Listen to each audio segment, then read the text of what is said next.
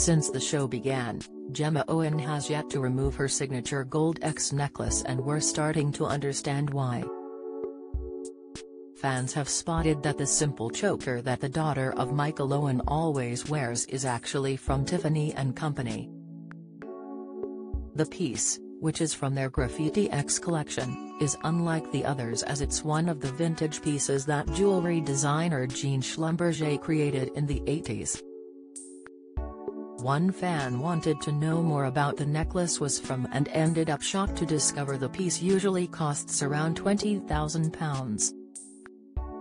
In a TikTok video, a user shared, We need to talk about Gemma Owen's gorgeous necklace that she is never seen without.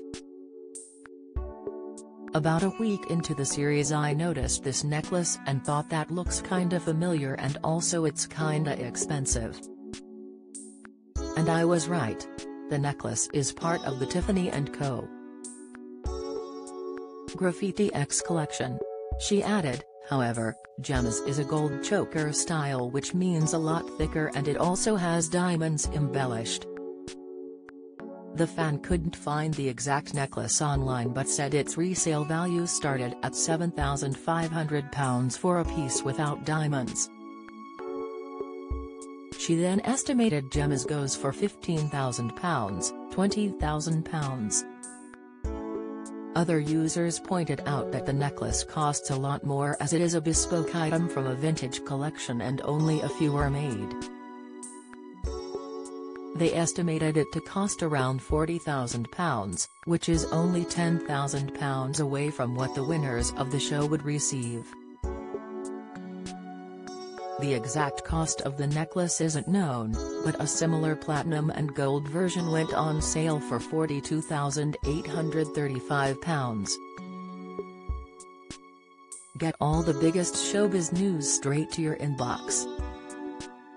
Sign up for the free Mirror Showbiz newsletter. Former footballer Michael previously discussed his children's very normal upbringing. The former Liverpool and Manchester United star, who has three other children, James, 16, Emily, 14, and Jess, 12, with wife Louise, said, she's clever and funny and kind. She's not two-faced. She's loyal, a decent person. He admitted that it can be hard to keep the kids grounded, I had nothing when I was growing up, but when you get a bit of success, a bit of money, your kids grow up with all the big houses, big cars. They fly business class and they think it's normal. How do you them reality? You try. I've booked economy class seats and been beed by my kids, but you still try. Do you have a story to sell?